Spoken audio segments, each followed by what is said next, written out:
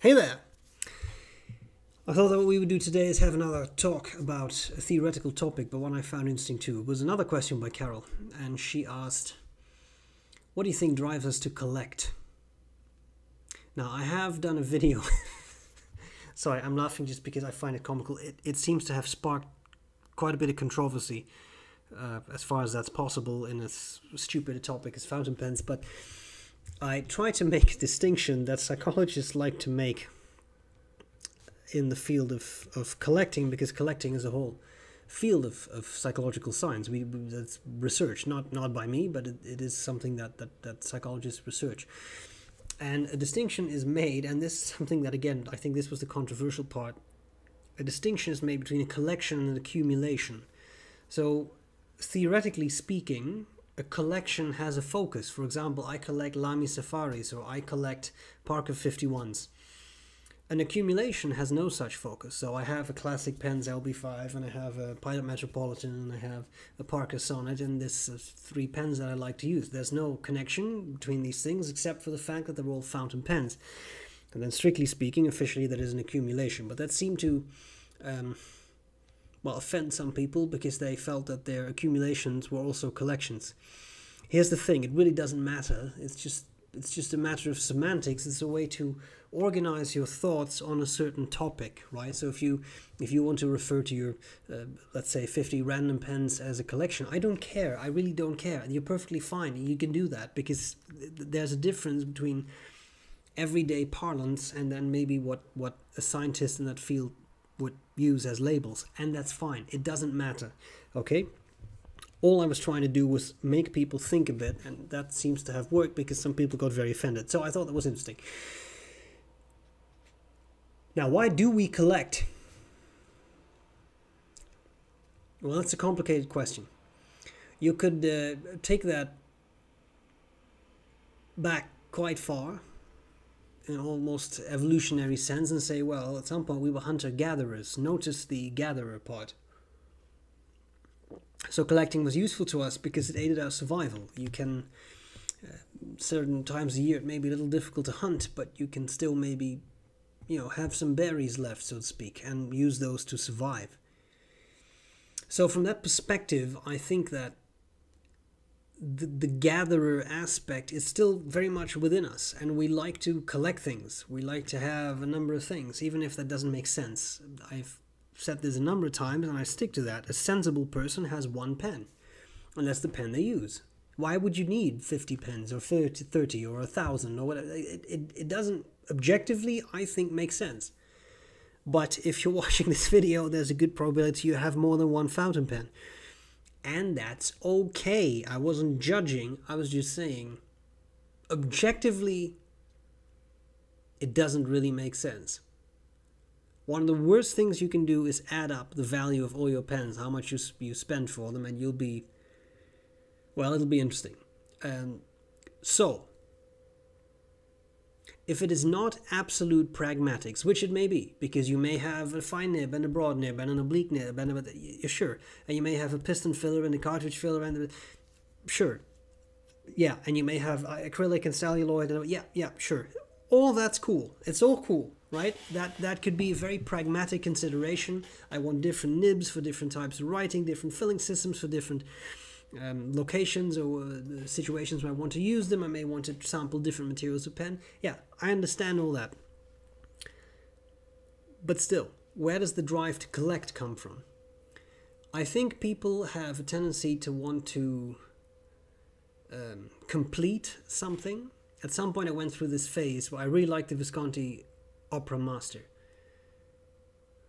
And we ended up with a bunch of them. I, I forget how many exactly, but five, six, seven. I, really don't remember, but something like that. And it got a bit absurd. And at some point, Aziza said, "Do we actually really need this?" And I thought, "Yeah, no, actually, not, not really." And we ended up selling a whole bunch of them. I only have one left now, and that's the one that I love best. Right? That's the one I kept. So, for me, I know that I can be a bit obsessive in these things and I want this, and I want that finish too, and I also want that, and, I, and they had a limited edition. I want, so I'm very careful not to get to that point. which is why I have no trouble describing myself as an accumulator, because I don't want to collect. I love Arco celluloid, but I don't need every Arco celluloid pen ever made. In fact, I don't want to. I have three, yes, and that is more than enough. And all of those are special to me. There are three different filling systems, there are three very different models, which each show off the Arco in a different manner. And that to me was a lot of fun. But now I don't need any more Arco because I have what I want. so I think that the when it comes to the the collecting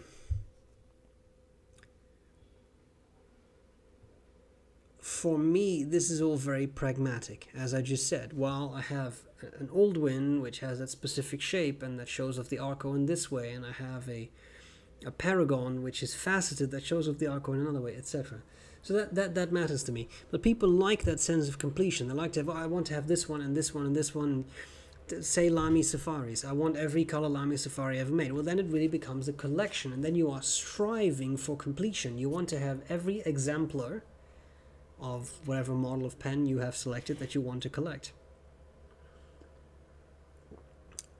If you do not collect in that way, but you just accumulate, you just buy those pens that you like, then again, of course, you are free to refer to that as a collection. But there is no, syst- no system to your pen crowd, again, in my mind, accumulation, there is no focus. If you look at my pens, there is no focus. There may be some mini foci, right? I could, you could look and say, oh, he has three Arco pens. That's a mini collection. Sure. But I think it's still an accumulation in my mind. So the sense of completion, wanting to have every exemplar of a certain, say, Lamy Safari, a certain model, um, I think that's a bit of human nature. I think we like to do things that way. I think we like to have that completion.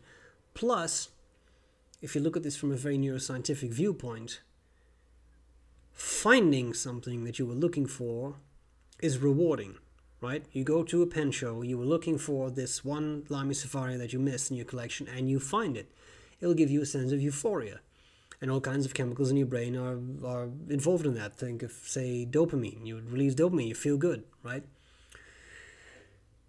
So there may even be a bit of a, a neurological component to to collecting in that regard.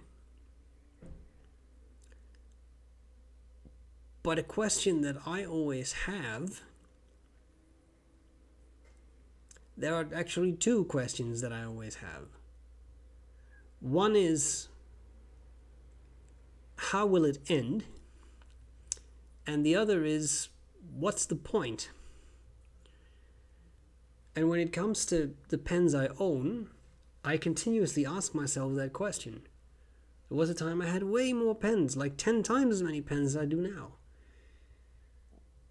But then the question became, but where does it end? Because if you keep buying every shiny new thing that comes out, it will give you that quick rush of, oh, that's cool, nice, I have it. And then you put it aside. Or you use it until you get the next pen. And there is no end. And that to me became important at some point that I really thought, I want this to be able to end. And I. I. So far, 2020 this is July 2020. I've bought one pen. Um, in 2019, yeah, I, I, I have to, now I'm kind of blurry as to what I bought when, but I think in 2019, I may have bought one or two pens. Now, I, granted, these were not cheap pens, uh, but but still, I am not at a stage where for me it is rewarding to say, oh, a new sailor, got it. Oh, a new safari, got it. That, that doesn't work for me anymore. But that doesn't work because I don't want it to work. Uh, this is not going to turn into some rant about consumerism. I, I don't I don't want to get into that because I find it boring. But the thing is, if you ask yourself those questions, where will it end? I think that can be a very enlightening sensation because don't forget that collecting can also go wrong. People can also become obsessed with finding the one thing, they finish the collection or complete the collection, or they got to have this, and they spend huge amounts of money on things that are really not, not worth it or that put them in debt, and that becomes an issue. So there's that question. How will this end? When will I be done? Well, now there's no pens that I'm looking for. Maybe one day there will be. Sorry, there will be. But as of yet, not, not really, and I'm happy with what I have. And that's the second question. What's the point? To me, the point is not to own every pen ever made. To me, the point is definitely not to own every new pen coming out. Because I don't care that much. I don't care that much. But what I do care about is pens that I love. So if you look at my pens, I can tell you for each pen that's in that collection, which is about, I have to count them again, I think something like, like 30. That's more than enough. To me, that's more than enough. I don't, I don't really want more. That's, that's good. And that matters to me. So, what's the point? To me, the point is not to own a thousand pens, because that would make me very nervous. Also, think of what I just said. You buy a new pen, you get that rush of ooh, new pen, adrenaline, dopamine, maybe serotonin, like all kinds of things go on in your brain, like no adrenaline then. But then you put it on the stack of the 499 other pens you own. And then you use that pen once, and take the ink out, and you have 400 other pens lying around, 499, and just said, you have them all lying around, and what are you going to do? Which one are you going to end up next? So I think that these bursts of, say, dopamine, to simplify a little bit, these, these cognitive, neurocognitive things that make you feel good, that's fun, but that won't last. It's not sustainable. So I would now rather buy one pen a year or two years, but that's a pen that I absolutely love, rather than, well, here's the next sailor. Ah, the newest sailor. Ah, the newest sailor. Ah, the newest sailor. And you just keep going. I'm not judging anyone. If that's what, you want to do, that's that's fine, right? That I, I'm absolutely not judging. But again, how does it end? Because then it will never end.